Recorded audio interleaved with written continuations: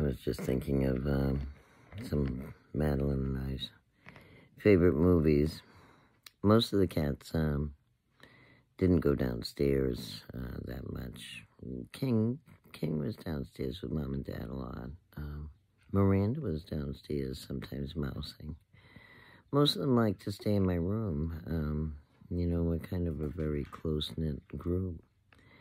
We just hang out all day, play, eat, you know, just very, very close knit. You know, uh, I think they like to stay in close quarters. And, and when they're comfortable in a certain spot, they just, you know, plant themselves. And But Madeline was the type to climb on my shoulder and just want to be with me everywhere, everywhere I went in the house, um, even in the car, always up for an adventure, always following me. So as a result, Madeline, Madeline and I watched a lot of um, television together. Um, at the time, I was subscribing on cable to um, TV and uh, Eros Now, so um, actually, I think it was called Bollywood Hits at the time before they changed the name to Eros Now. So we watched, I think, probably like every just about every Indian movie we could find. She was a big fan of Ram Leela. Um, I was a big fan of Ram Leela. And um, we used to practice the dance moves all the time. That was one of our big things. But there were some other movies that she saw with animals. Um, one of them was a documentary called Bobo. And uh, just dealing with her as an animal was um, you know, it was challenging. And I was looking around at a lot of different documentaries, a lot of different, like, um, even things on, on Africa that covered meerkats because I was looking for kind of hints and clues about her own behaviors. So we watched Bobo. That was a favorite. Um, Keanu was um, uh, a really interesting movie. Um, had a cat that looked just like her brother in it. Um, but, you know, that cat in that movie, for the age of the kitten, you know, I was looking at I was looking at my cat and her normal behavior, and then I was looking at this kitten named Keanu, and I could tell, I could tell, like I could tell with Spuds MacKenzie, you know, that that's just not like um how do I put it like breed appropriate or age appropriate behavior for an animal sometimes you see in movies. So yeah, animal movies could sometimes be tough for us, you know, like sometimes we liked watching them um, because they showed them like the wildlife, the wildlife documentaries, but Animal Planet could be rough because it showed a lot of veterinary stuff and very harmful stuff. So sometimes we watch National Geographic. And the Keanu movie is just like the Spuds MacKenzie movie. They're just not moving around normally, you know, for a normal animal, you know. Um, we watched a lot of animal movies. Um, we watched Mayan, um, Mayor Hati. I don't even know if I'm pronouncing that correctly, but it translates to me and my elephant. And there's a great song on the soundtrack that, at the end that uh, just is really I, I love the reprise of the of the theme song.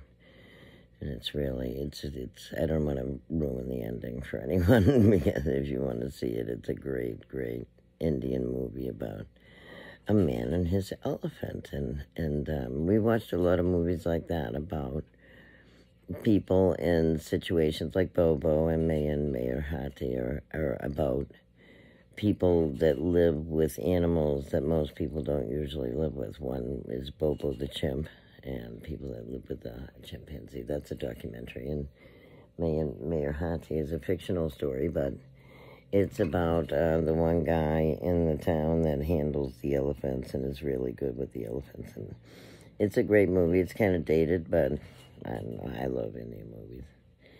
The other one we liked was uh, Smallfoot um, the cartoon, and I just I thought that was that movie was just made for us. Um, we had that kind of back and forth, smaller, larger.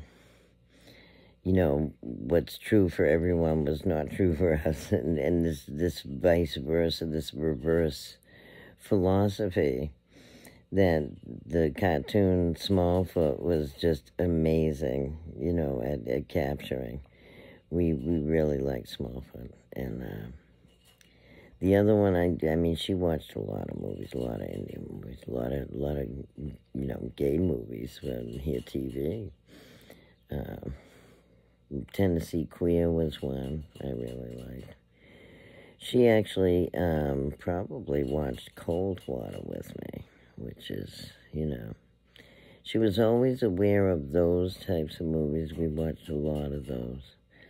So I know when when those uniforms came into our house, I, I know that this cat, you know, was fearing for her life she had seen, you know, prison movies, and um, I mean, Indian movies have a lot of police corruption movies, a lot of insurgent movies, a lot of good, bad, and otherwise uniform movies. So she knew, I, I knew they had to be just terrified, you know.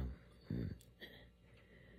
I was, I, I still am. I mean, I had guns like hanging right in my face. Um, at the same time, they're upstairs just wrecking their room and wrecking their lives, you know, and I'm just like trying to figure out outside and trying to avoid getting shot at the same time, figure out why are they coming to take my animals. And they're just hoping I do something stupid so they can shoot me, you know, basically. You know. But she knew. She knew about movies like Shootout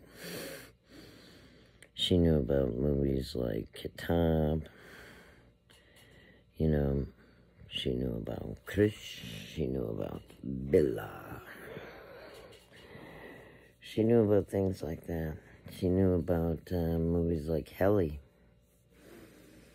which is really, really, which the police ended up making themselves look like in the end. She was uh, very good that way.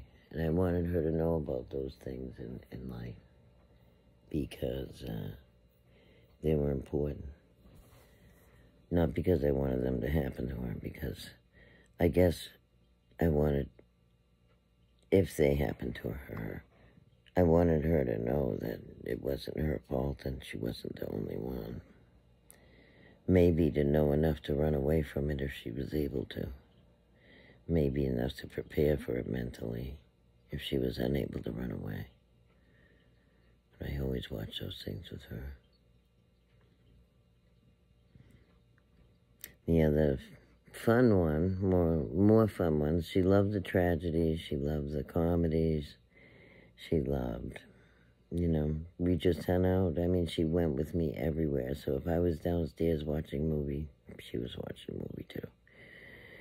And, uh, you know, the, the one we really loved, which was ridiculous, is Big Man Japan.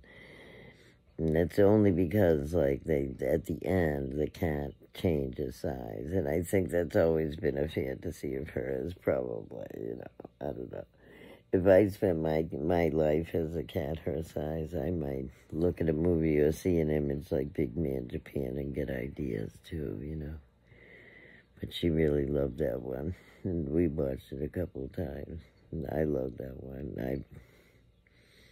I, I, I must admit, when those when those police came, I just wished, I wished I could have turned them all into Big Man Japan that day, because I think that would have been the only thing that could have kept them safe from those police that day. See the movie if you haven't seen it. It said I wanted to own it. She also saw Departures, The Awakenings.